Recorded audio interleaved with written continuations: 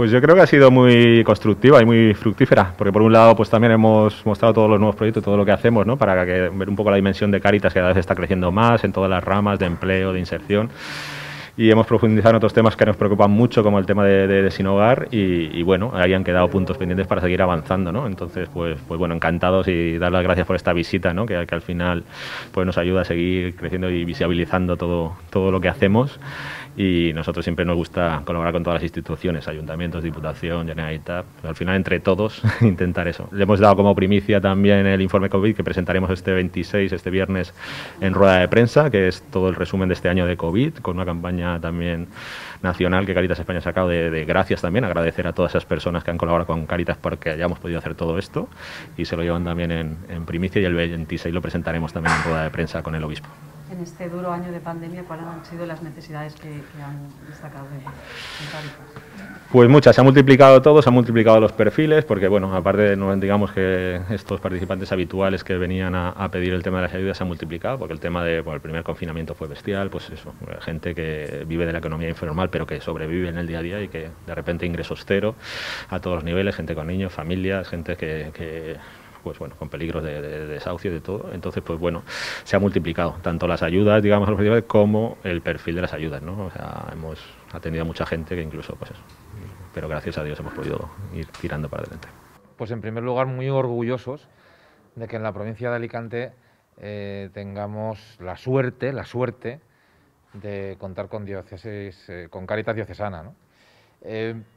Tener en una, en una, provincia como la provincia de Alicante a Caritas Diocesana significa fundamentalmente que tenemos cohesión social, que tenemos profesionalidad en el tratamiento, eh, la capacitación y la formación de las personas que están atendiendo en todos los ámbitos de los más necesitados es fundamental. Tenemos que recordar que solo en los primeros meses del estado de alarma eh, eh, Caritas ha atendido a más de 30.000 personas en, en, estados eh, muy complicados, muy controvertidos. Más de 2.000 voluntarios en la provincia de Alicante que están atendiendo eh, y cada vez más a pesar de las restricciones, a pesar de las circunstancias que estamos viendo. Por tanto, para nosotros es un orgullo. Nosotros eh, colaboramos desde Diputación con Caritas en, en aspectos muy concretos, como es la atención al VIH o algunos proyectos muy determinados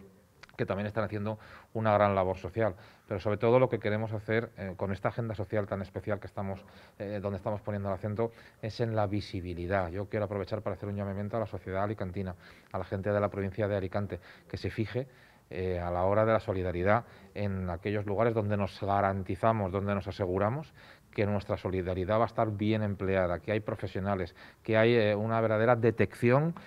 y sapiencia de cómo trabajar los problemas de, desgraciadamente, demasiada gente que tenemos en la provincia de Alicante. Llamamientos a toda la sociedad alicantina de mirar hacia Cáritas, de mirar hacia entidades de este nivel que realmente sí que están haciendo eh, una labor de aprovechar la solidaridad de todos para, mejorar a los que más lo necesitan.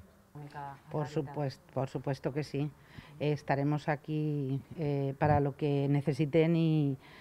ya como bien han dicho, eh, tenemos una suerte de que